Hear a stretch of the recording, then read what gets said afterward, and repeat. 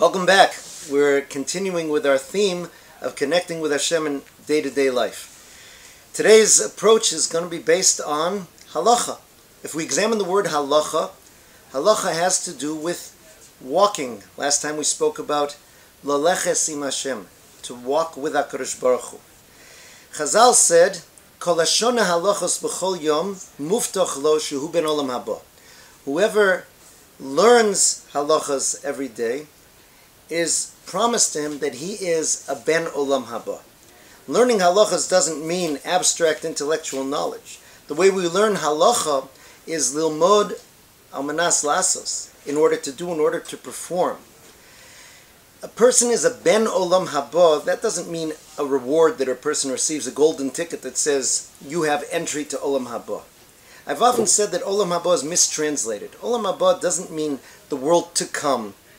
Olam haba means the world that comes, ongoing present tense. The world that results from what? From the world that we live in now. When a person lives their life according to halacha, which means in each situation that we have, we look to see should we be doing this or not? If we should be doing it, how do we do it or how don't we do it? There, that person is walking with Hashem in everything that they do. Why are you considered a Ben Olam Haba? Because you're accessing a spiritual reality as you're living your day to day life in this world.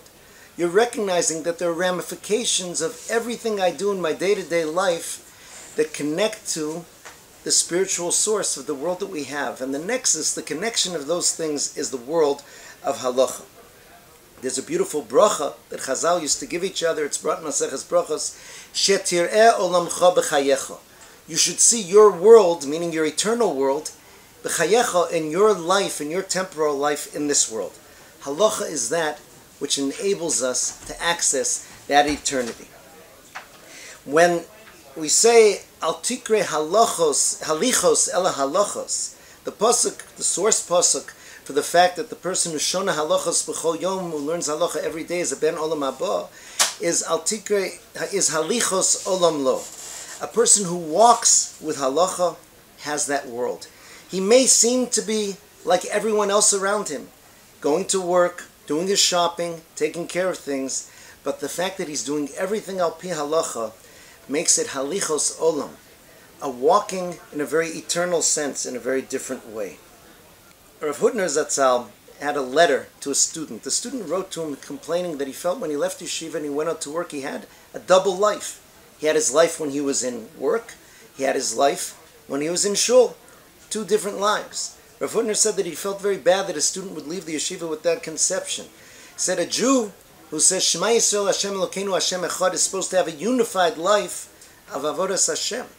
A person who has a home with two rooms doesn't have two houses; he has a broader house. So too, a Jew who lives his Judaism in different settings doesn't have multiple lives; he has a broader life.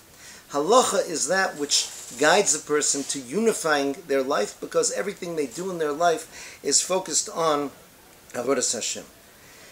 Rabbi Avram Schorr Shlita said a beautiful idea, I believe from someone who preceded him. Chazal say that after the destruction of the Beis Hamikdash, ein lo baruch hu ba'olomo ela arba amos shel halacha bilvad. What HaKadosh Baruch Hu has in his world are the four amos, the four cubits of halacha.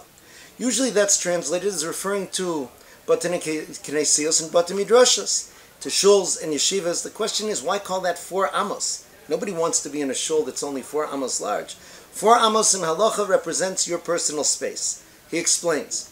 The Arba Amos of Halacha are your personal space as you go through your life. And as you encounter situations, you ask, what does the Halacha tell me to do in this case? Suddenly, your personal space uh, become those Arba Amos Shel Halacha. A space of special Kedusha. A space that HaKadosh Baruch Hu has in this day-to-day world in which His presence is there walking with that person. That's the world of Halacha. The Tolna Rebbe said a very beautiful image.